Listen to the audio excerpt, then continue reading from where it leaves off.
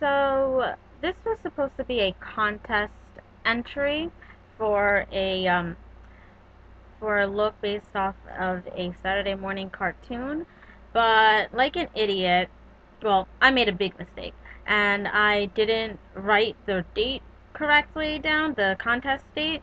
So yeah, the contest is now closed, and I'm very sad that I didn't get to enter, but still want to show off anyway. Um, my look is based off of the X-Men cartoons, and this is Magneto's like helmet thing on my face. I don't know, I was just thinking of cartoons and thought, you know, Magneto would probably be a fun look to do.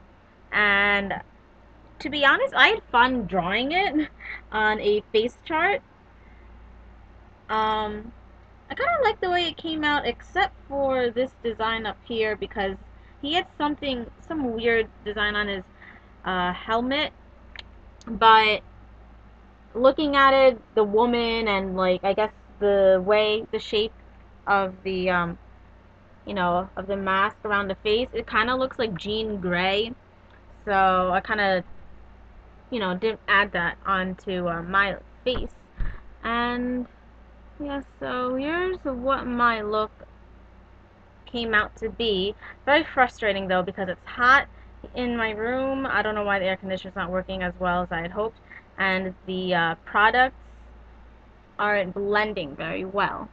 But so still fun, you know, with this look, especially with my face chart. I'm just so glad. I'm glad that I can color, pretty much. Um, but yeah, so just wanted to show this off and maybe someone else can copy and do a way better job. Oops, I just picture's falling.